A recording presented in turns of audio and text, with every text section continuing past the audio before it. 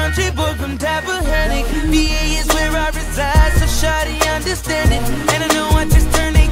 and I get a little mannish And you see this bandana hanging, that means I'm like a bandit Like, like